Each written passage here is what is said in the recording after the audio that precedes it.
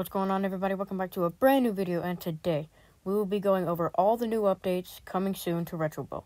So without any further ado, let's get straight to it. The first update that is coming to Retro Bowl may surprise you. The new feature being added is multiplayer. Yes, multiplayer. This won't be online multiplayer such as Madden where you can play worldwide, except it will be a pass and play game. So if you want to play with friends or just play both teams by yourself, I think this will be a great feature. If you want to know how to play this early before it's even added, make sure to watch until the end so I can show you how. The second update will also be very cool. This will be exhibition games. Instead of playing an entire career, this will only be one game where you get to choose your team. This will be played against an AI and you'll be able to choose their team and your team. This won't give any coaching credits, fans, or stadium upgrades. It's just one game.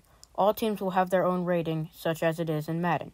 For example, the Kansas City Chiefs would probably have a better rating than the New England Patriots. There will be no difficulty selection, and you will not be able to edit the roster or draft any players. So, the only major updates that will be coming soon are exhibition mode and multiplayer.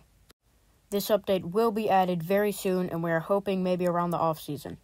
But there is a way that we could play what multiplayer could be like in Retro Bowl.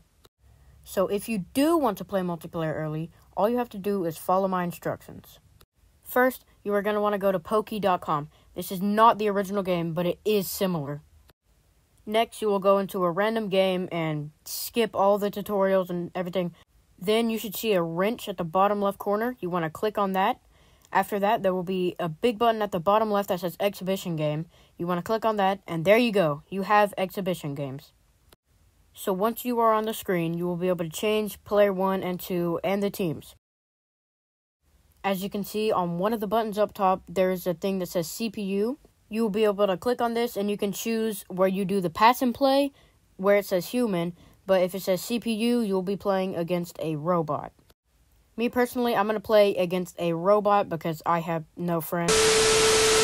This does not count towards anything such as coaching credits or anything just like that you will just be able to play a game and it doesn't count towards anything.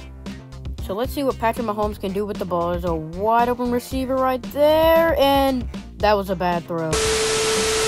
That's going to do it for this video. If you want to play exhibition or multiplayer mode, I will have Poki linked down below if you don't know how to get to it. So with that being said, I will see you all in the next video.